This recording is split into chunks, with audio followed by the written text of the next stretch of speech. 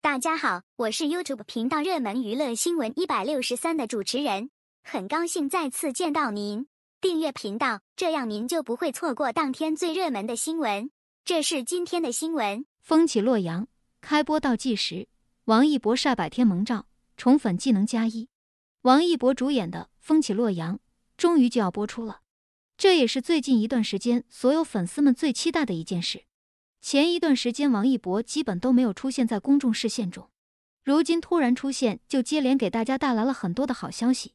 之前王一博不久不出现，粉丝们都表示很想念，而最近王一博的接连两个活动和大家见面，粉丝们也能够感受到他的宠粉技能似乎又精进了很多。上一次品牌方周年庆活动之后，王一博在某平台上发布了自己的下班变装视频，而这一次风起洛阳。发布会结束之后，王一博竟然又晒出了自己的百天萌照，甚至很多网友看了之后都觉得很惊喜，大家都怀疑是粉丝的剪辑。风起洛阳进入播出倒计时，王一博晒百天萌照。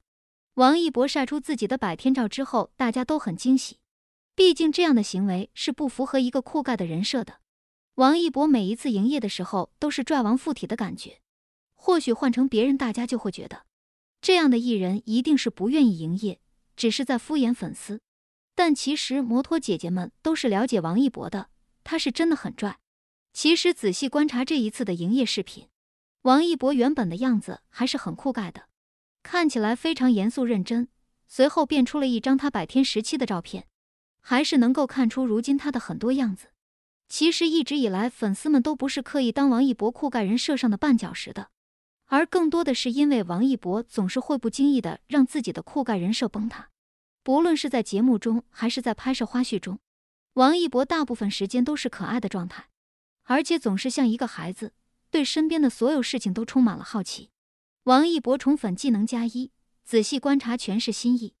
最近王一博的宠粉频率真的很高，因为王一博前一段时间特别忙，所以粉丝们也是能够理解王一博。但其实从这一次王一博的营业中能够看出，他对粉丝的心意也是很深沉的。王一博从来都是不善于表达的，包括他给其他的朋友送礼物，也都能够彰显出最大的心意。王一博这一次在某社交平台上晒出的最新物料，其实是上一次王一博参加周年店庆拍摄的视频。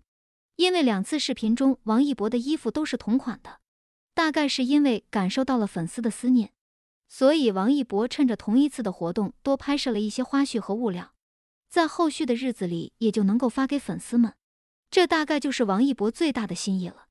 前一段时间，王一博一直在准备《无名》的拍摄。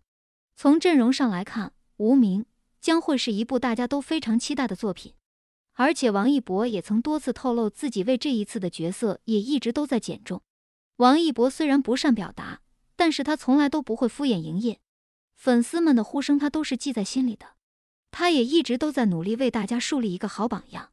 粉丝们和王一博一起努力，最后成为更好的自己。